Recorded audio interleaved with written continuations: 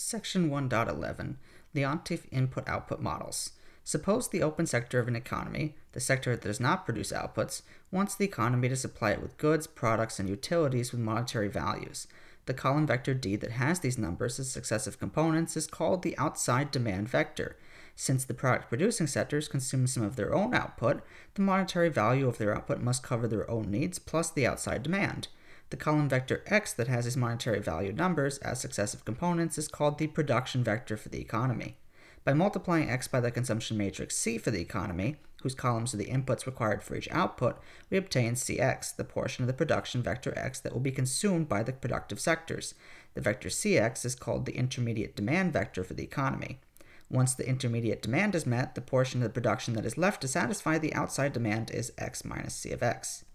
So X is how much the production sector is producing. They're consuming C of X. So what they have left has to meet the outside demand D. So we will uh, conveniently rewrite that as I minus C times X equals uh, D. You can imagine the X as factoring out because uh, the identity times X is just X and then I minus C. The matrix I minus C is called the Leontief matrix, and I minus Cx equals D is called the Leontief equation. Let's do an example. How about we consider the economy described in the table? We have the provider, manufacturing, agriculture, and utilities, and we have the uh, input required per dollar amount, per dollar output. Suppose that the open sector has a demand for $7,900 worth of manufacturing products, 3,950 worth of agricultural products, and 1,975 worth of utilities. Can the economy meet this demand, and if so, find a production vector x that will meet it exactly? So we need to write out our matrix C. So we can get that just by reading off these values over here. Those are the costs for everything. So that's 0.5, 0.1, 0.1, 0.2, 0.5, 0.3, 0.1, 0.3, and 0.4. And then we don't know what x is, so we don't we don't know how much we have to produce yet. So we'll call that x1, x2, and x3. And we know what the demand is. They just uh, told us the open sector wants this amount. So that's 7,900, 3950, 1975. So the problem is figuring out how much the production sector has to produce in order to meet their own needs and satisfy the demand at the same time. So let's uh, write what I minus C is because remember that's our uh, equation. It's I minus Cx equals D. That's what we're going to be writing out. So if we take I minus C, we get 1 minus 0.5 is still 0.5. Because remember, I is 1, 0, 0, 0, 1, 0, 0, 0, 1. So 0 minus 0.1 just gives me minus 0.1 and minus 0.1 and then 0 minus 0.2 is just minus 0.2. And then 1 minus 0.5 is still 0.5. Then 0 minus 0.3 is uh, minus 0.3. And 0 minus 0.1 minus 0.1 minus 0.3. And then 1 minus 0.4 is 0.6. Okay, so this is i minus c. Then we multiply that by x.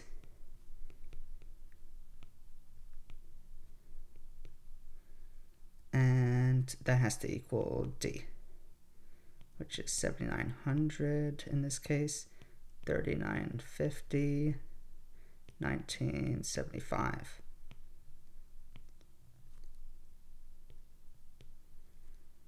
Okay, how about we write this as an augmented matrix so that we can reduce it and solve for x. So we'll write 0.5 minus 0.1 minus 0.1 7900 minus 0 0.2, 0 0.5, minus 0.3, 3950, minus 0.1, minus 0.3, 0.6, 1975. Okay, let's start reducing that. How about we multiply this by 2 in order to get a leading 1, and then we'll add suitable multiples of that top row to these two to get zeros over here. So we'll get 1 minus 0.2 minus 0.2, 15,800, 0 0.46, minus 0.34, 7110, 0, negative 0.32, 0.58, 3555.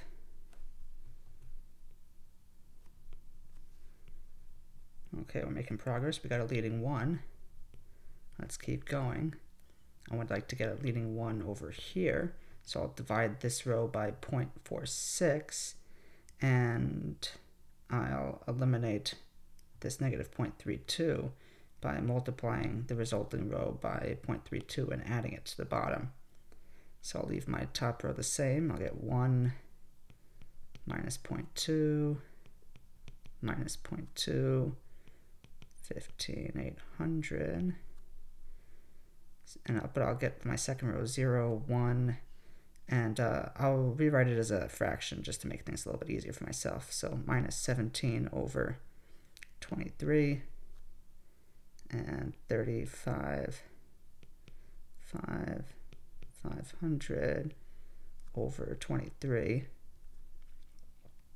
and my bottom row becomes 0 0 79 over 230 195 525 over 23 all right well it's not the most pleasant thing in the entire world but we can do it we'll divide this row by 79 over 230 leave the others the same and then we'll have a leading one and we'll be in row echelon form so we'll have made some serious progress so 1, 5, 800 still. 0, 1, minus 17 over 23. 3, 5, 5, 5, 0, 0 over 23. Hopefully I have the right number of fives, but I'm sure you guys will let me know. And my last row becomes 0, 0, 1 two, four, seven, fifty. Okay, cool. So now we just need to get zeros above, and then we'll be in reduced row echelon form. So let's get a zero over here. We'll add a suitable multiple of my second row. So I'll get one,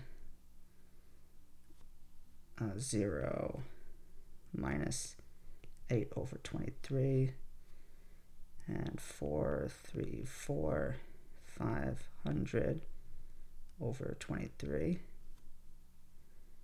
And I'll reproduce 0, 1 minus 17 over 23, 3, 5, 5, 500 over 23. And last but not least, 0, 0, 1, 2, 4, 7, 50. Okay, just need to get these two zeros, so uh, just add um, suitable multiples of 1, so I'll just multiply by 17 over 23 for my second row and 8 over 23 for my first and add it, and I'll get 1, 0, 0, 27, 500, and then 0, 1, 0, 33, 750, and then 0, 0, 1, 2, 4, 7, 5, 0. Oh, I forgot my lines a couple times, but I don't really need them. It's okay. Just to remind you that the matrix is augmented. Okay, so that means that I get my x vector equal to 27,500, 33,750, 24,750. So this means that this is what the production sector has to produce in order to meet both their own demand and the outside demand. Since we were actually able to reduce this matrix and find x, the answer, of course, is yes, the economy can meet this demand.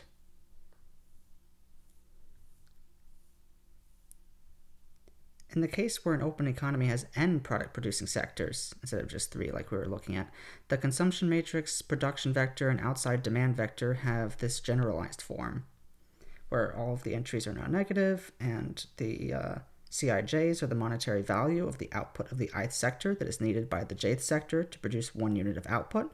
That's our costs.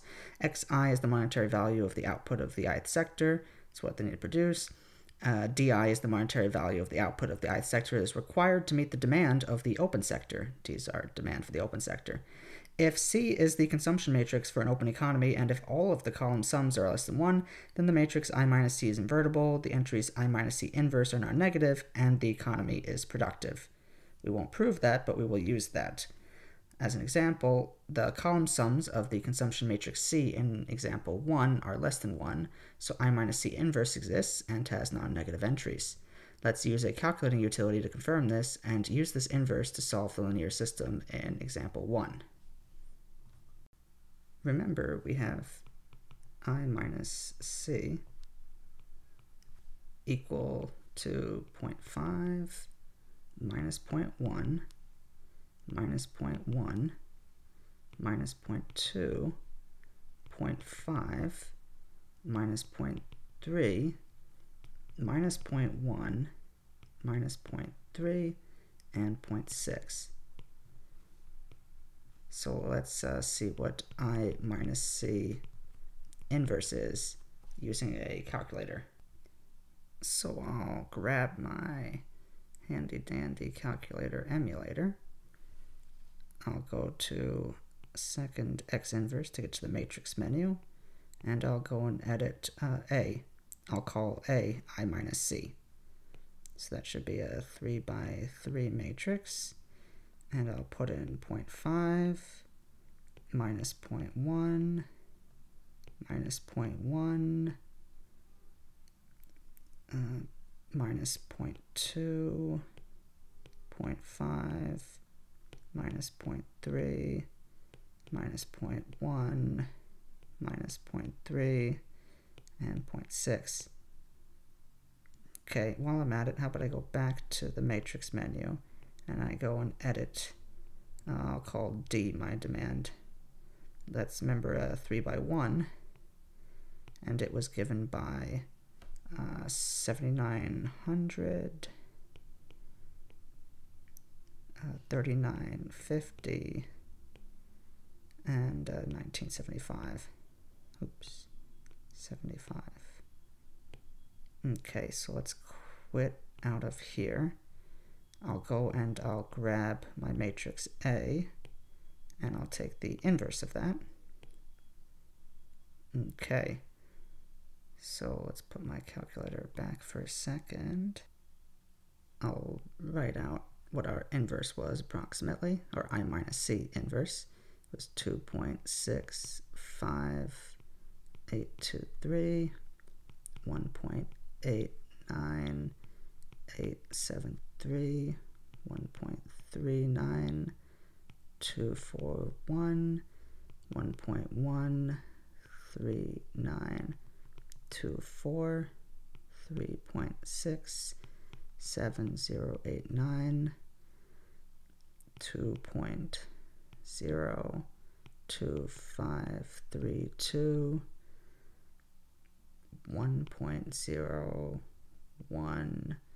two five three two, one point zero one two six six two point one five one nine zero two point nine one one three nine. Okay. So I'm going to take, let's see, I want to get x. Remember, it's going to be i minus c inverse times d. So that should be approximately this matrix right over here times D. So that's 2.65823, 1.13924, 1.01266. I don't know why I'm writing it the other way this time, but I am because I can one uh, 3.67089 2.51 no it was 2.151 90 1.3 9241 2.0 2532 2.91139 I guess sometimes you have to spice things up. We'll multiply that by 7,900, 3,950, 1975. Okay, so let's see what we get again using our handy dandy calculator emulator. So let's pull it out. This time, how about we uh, take a inverse. So I will go back to matrix, grab A, invert it, and I'll go back to matrix and grab a D and multiply it. Oh, great. We got exactly what we got in the previous example. So that's really good. It kind of uh, validates exactly what we did in both cases kind of makes me think that I didn't typo in my calculator and that I hopefully didn't make a mistake when I did the previous example.